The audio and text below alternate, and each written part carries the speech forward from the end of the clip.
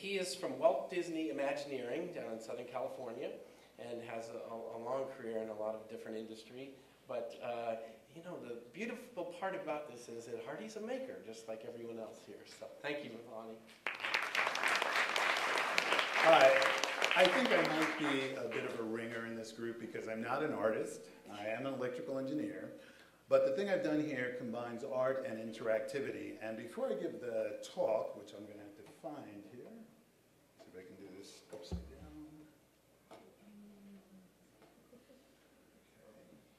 Okay, before I give the talk, I'm going to ask a couple of young makers to come up, and I'd like to demonstrate the interactive zoetrope so you'll know what I'm talking about. And you're going to come up right there, and we're going to get maybe one other person.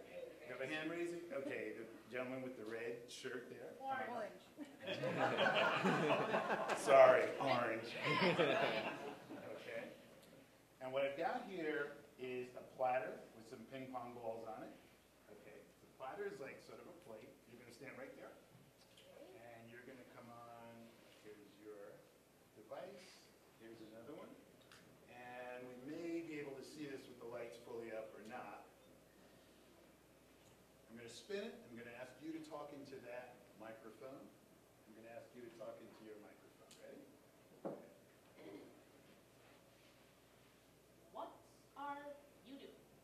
Hi. Do you realize that every time I talk, my face seems to change on this zoetrope? This is the world's first. This is the world's first interactive zoetrope. And by the time I finish my little talk, you'll know what a zoetrope is. It's been around for a long time. And um, this is the world's first one that actually has the ability to respond to the people that stand in front of it. So, what's a, uh, what's a zoetrope? Okay, our volunteers are almost done there. You want to talk a little bit more? This is so unnatural. I have so many faces. It's unnatural, man. I one face. I think the best thing about an interactive zoetrope is that it's fun. So I was lucky enough well, to be. that's the point. That's right. That's exactly right. I was lucky enough to be out on the floor with this a little bit uh, this morning and watching kids play with it, and, and um, that's fun. Okay, my volunteers. I'm getting dizzy now. I'm getting dizzy. What do you say? Say something. Probably the person going round and round is gonna get dizzy in like five seconds. Okay, you guys can sit down. Thank you Okay. All right, what is a zoetrope? Zoetrope has been around since the 1800s, and they were actually parlor toys. You can make one as young makers by taking a cardboard cylinder, drawing faces, or drawing uh, different character positions, just like you would in a cartoon, that move a little bit from position to position. Slits cut around the edge of the spinning cardboard will allow you to see just fleeting glimpses of these individual frames of animation. And that's the way cartoons are generated. How many people here watch cartoons? I do. I like cartoons, right? And cartoons, at least in the old days, used to be hand drawn pictures that are just a little different from picture to picture. And if they're shown one right after the other very quickly, and we have fleeting glimpses of them, they appear to move. And that's how movie, movies work. That's how all of the things that had motion in them work. Um, there is a wonderful zoetrope. If any of you uh, have a chance to visit Disney's California Adventure, there's a very large zoetrope it's made by the Pixar Corporation, it, which is uh, actually part of the Walt Disney Corporation, which I am from. And um, it brings to life all of the uh, characters from Toy Story. It's about eight feet in diameter. It's a gigantic platter, and it has statues made with a process called stereolithography. That's where a computer actually makes a physical object, building it a layer at a time, and essentially it's a solid cartoon. It's a cartoon where statues of the characters come to life. It's a wonderful show. It was my inspiration for the interactive zoetrope. And the only misgiving I had about it is that it doesn't change from minute to minute. The same show goes on over and over. And I wanted a zoetrope that allowed people who are watching it, our guests in the theme parks, to change what happens in it. So if we remember um, some of those old movies, King Kong and that sort of thing, they were done with stop motion animation. Basically, a maquette, that's a little statue, is moved a little bit at a time. Pictures are of it, taken of it, and those pictures are played rapidly in sequence, and it makes that little maquette monster come alive.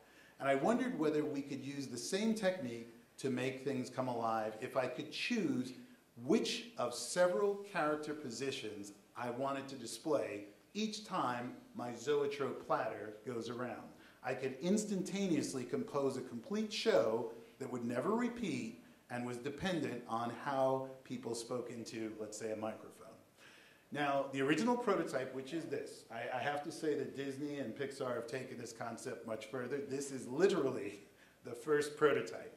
And I needed something to test it with. So I said, well, I can glue some plastic ping pong balls. That's how I got here, because we did use plastic. I mean, there they are, plastic ping pong balls. and um, I thought that I, I was going to have to do a great deal of work to register the ping pong ball faces carefully and make sure that they were stenciled exactly into place so that when they were strobed, when, they, when we got those fleeting glances of them, they would line up perfectly.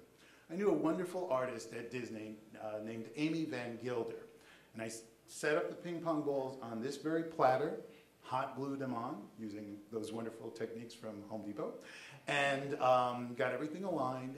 And I said, gee, Amy, can you draw wonderfully, completely aligned pictures? She gets a magic marker out, starts drawing like this. You can't see it here, but quickly, rapidly drawing faces. She's a wonderful person, but I said, oh, gee, I, my, my, my ping pong ball zoetrope is not going to work. It's not going to be lined up. She's not a technologist, so at the end, she's a great artist. She says, Lanny, how do you make it go? I turned it on, and I got the best result I'd ever seen, I think, that we've ever done. So it has stayed this way, still stuck in a vise, still on this optical bench platform, but um, it turns out I think it's, it's a peak. Now, for those of you who are into the electronics, I'm going to, because I've gotten a lot of questions. How does it work? How does it work? I'm going to quickly go through this. Way at the top, there's a motor turning the platter, right, with the ping pong balls on it. At the bottom of the motor, a lot of people say, well, how do you know where the ping pong balls are on the platter? There's a thing called a shaft encoder. It tells, it sends out an electrical signal that tells the number of degrees of the platter rotation.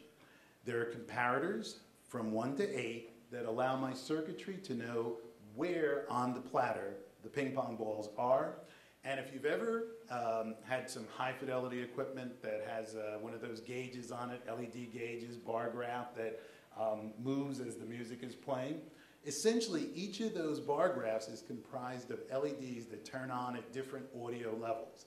I use that same integrated circuit. Those are those uh, pulse generator switches, or actually it's the audio uh, level meter at the bottom, that choose every single rotation the best ping pong ball to light. And each of the ping pong balls has an increasingly big face from, you know, hardly smiling or hardly having its mouth open to wide open mouth. So if you're talking loudly during a revolution, my circuitry will choose and flash, that is strobe, the ping pong ball face that corresponds to the loudest position, millisecond by millisecond. If you are talking with a low voice, very, not very loudly, then I choose the ping pong ball that's most closed. Together, as the machine runs quickly, those superimposed faces um, form a moving image of a person talking. So here's, uh, this is Katie Bassett in my lab, I'm a lab associate that's talking and demonstrating that as you talk, the louder you talk, the louder the position of the mouth, and you can animate, in this case, ping pong balls. But the real power of this technique comes when you animate something a little more interesting than ping pong balls, which we've done. We've animated holograms. So we just did a, a presentation at a technical conference called SIGGRAPH. And there we had a floating sort of monstrous face that animates floating in free space as a person talks. We've also done maquettes, small characters that come to life as they rotate, and the technique can bring even statues of great precision to life and give them motion. So, um, in general, what we've got here is a way to animate characters in real time. We can animate holograms. We can have all sorts of human input. Here I've used microphones and the sound of a human voice to animate a character because it's appropriate here. Computers could animate characters that are, for instance, playing a game of tennis to make a, a solid state game that instead of being sort of on a screen plays out in real life in front of you with little characters who are actually playing the game. It's like you have control of it. Um, you can do things. We had a wonderful talk about eye tracking here, and we've done a few things with eye tracking so that the characters look around, etc. So I'd invite any of you who are interested after the talk to come up and give it a whirl. So thank you very much.